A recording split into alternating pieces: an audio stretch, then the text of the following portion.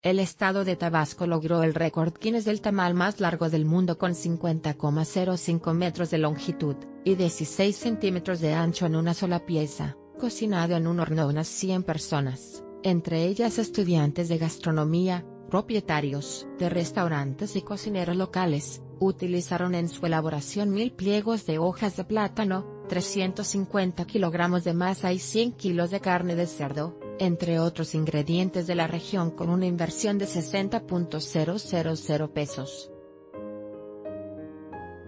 Cerca de 500 personas asistieron al evento, y disfrutaron de un trozo del tamal de chipilín, que pesó 630 kilogramos.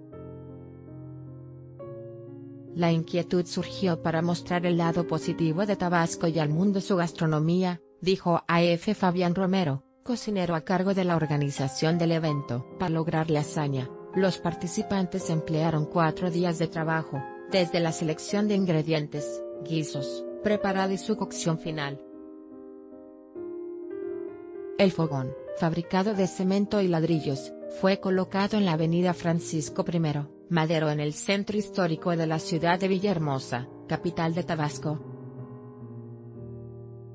El estado petrolero de Tabasco, donde nació el presidente electo de México, Andrés Manuel López Obrador, superó la marca mundial de Perú, donde en 2016 se cocinó un tamal similar de 39,55 metros registrado oficialmente ante los récord Guinness. El tamal es un platillo indígena preparado con masa de maíz cocido al vapor y hojas de plátano